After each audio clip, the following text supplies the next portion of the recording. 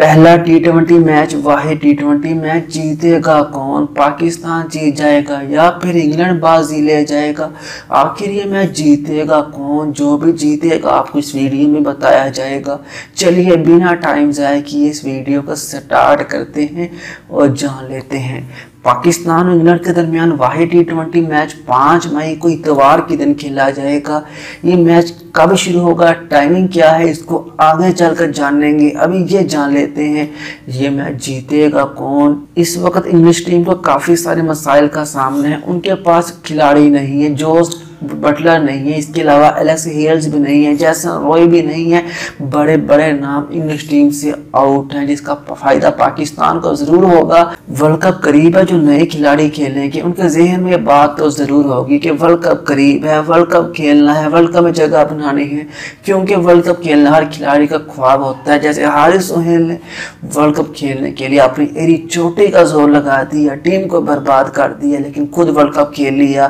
یہی حال کچھ نہ کچھ حد تک انگلش بیٹسمین کے ذہن میں بھی ہو سکتی ہے، لیکن گیپ تو نہیں جانتا، لیکن ایک اندازہ ہے، اس کا فائدہ پاکستان کو ضرور ہو سکتا ہے۔ جوز بٹلر نہیں ہے، جو میچ کا پانچ سات پڑھ دیتے ہیں۔ اس وجہ سے پاکستان کو کافی فائدہ ہوگا۔ بولنگ کی بات کی جائے تو مجھے بولنگ سیم دکھائی دیتی ہے۔ اگر کمپیریزن اوور آل کیا جائے تو مجھے پاکستان کی ٹیم کچھ نہ کچھ حد تک انگلش ٹیم سے بہتر دکھائی دیتی ہے۔ انگلینڈ سے بہتر دکھائی دیتی ہے۔ لیکن اگر ہوم ایڈوانٹیج کی بات کی جائے تو یقینی طور پر انگلش ٹیم کو ہوم ایڈوانٹیج حاصل ہوگا۔ لیکن اس طرح سے حاصل نہیں ہوگا جس طرح ماضی میں ہوا کرتا تھا۔ بیٹنگ وکٹ ہوگی فلیٹ وکٹ ہوگی، تھوڑا بہت گیند سوئنگ اور سیم ہوگا شروع میں۔ وہاں پر پاکستان نے اچھا کھیل لیا، فخر زمان نے بہتر کر دیا، تو پاکستان کی ٹیم شاید تھوڑی مضبوط ہے، بس سوچ کی بات ہے۔ یہ میچ کارڈی کے وکٹ پر کھیلا جائے گا، جہاں کی باؤنڈری سامنے کی جانب چھوٹی ہے سائٹ تھوڑی بڑی ہے، لیکن سامنے کی جانب چھوٹا ہے، سامنے شوٹ مانا آسان ہے۔